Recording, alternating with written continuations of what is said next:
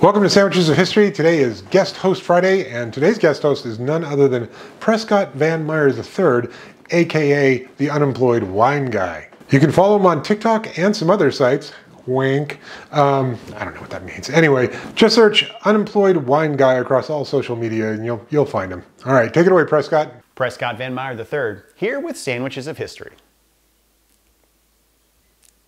As you can see, I'm not Barry, the normal host with Sandwiches of History. I'm here for his Guest Friday episode, and I am delighted that he invited me to partake. But I was even more honored by the recipe he sent me because uh, I gotta say, it looks like a total banger.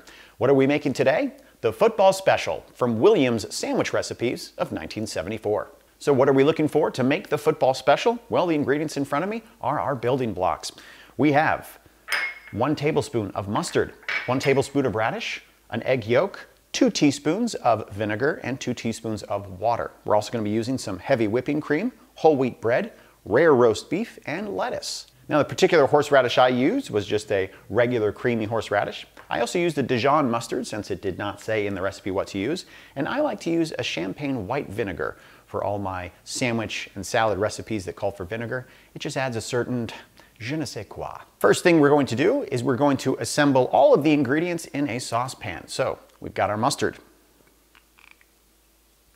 the horseradish, the vinegar, the egg yolk, and the two teaspoons of water.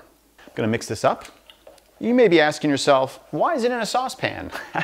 That's because we're gonna be heating this up. Very low heat until it thickens up. So in just a moment, I'm bringing this right over to the stove. That is nice and mixed. Smells very intense with the Dijon mustard and the horseradish together. I really, really like what I'm smelling so far.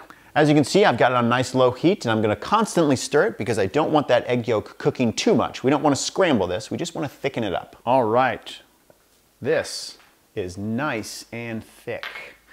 We're gonna bring this out of the dish. Intensity of the horseradish, the mustard, everything in there. Nice and warm. There's just a really nice thickness to it that the yolk has provided. An interesting way to kind of thicken that up.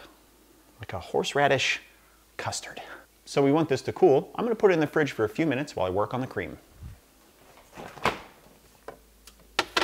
Now the recipe calls for us to take one quarter cup of whipped cream and whip it up nice and well. Ooh, that's thick. Gonna do it by hand. And this only took me a few minutes. In this bowl, it's only a quarter cup. You can see it's starting to get really nice and firm. And that's what we want. We want that consistency of whipped cream. There we go. Nice stiff peaks have formed. That's exactly what we want with the whipped cream. So I'm trying to keep all that air in there with that whipped cream. We got that salted and oh, that horseradish. Boy, you smell that and it smells wonderful. trying to keep all that air in there. Almost like a horseradish mousse right now. That is very nice and light and ready to go. And obviously, I'm gonna take a little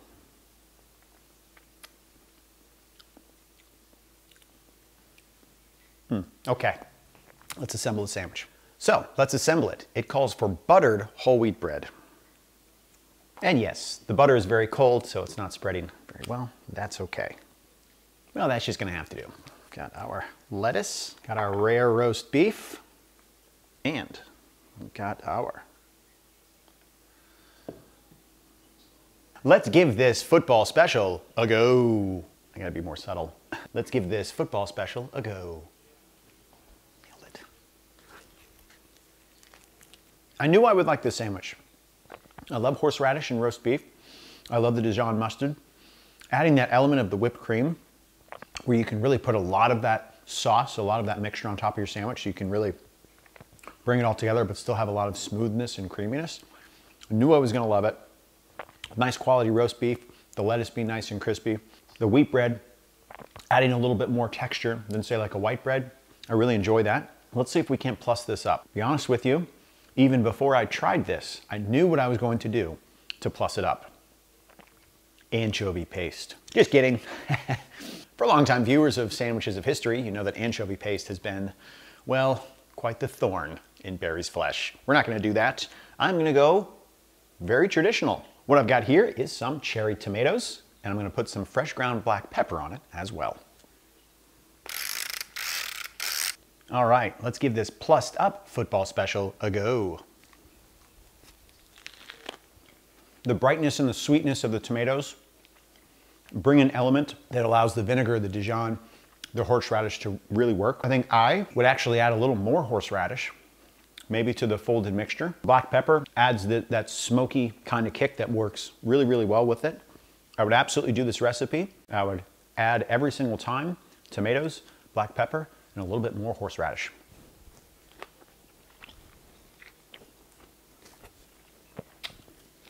Mm-hmm. Mm-hmm. Mm-hmm. Mm. It's so good. So sandwiches of history, they use a one to 10 rating, and I'm gonna give the football special a seven out of 10. A really nice sandwich, one you're gonna enjoy. The plussed up version with the black pepper and the tomatoes added to it, a little bit more horseradish, I would give that a nine. It is such an excellent and fun way to have roast beef. The whipped cream adds this element of richness to the, to the sandwich itself that just makes it almost luxurious. Steps are not that difficult. It took not too long to heat up the egg yolk and that mixture on the stove. Whipping up a quarter cup of whipped cream, that didn't take long at all. So putting that together as this nice little mousse that you can be really luxurious with on your sandwich, absolutely recommend it. Pairs so well with roast beef. As long as you have a nice, good quality roast beef, again, 9 out of 10 for that sandwich. Special thank you to Sandwiches of History for letting me come on and be a, a guest on Fridays. So if you're a fan of his channel, head on over to my channel and give a like and a subscribe and a, a ping. Sign up. Sign up for all of it. Please. And again, thank you, Barry. I had a blast making the football special sandwich from Williams Sandwich Recipes of 1974.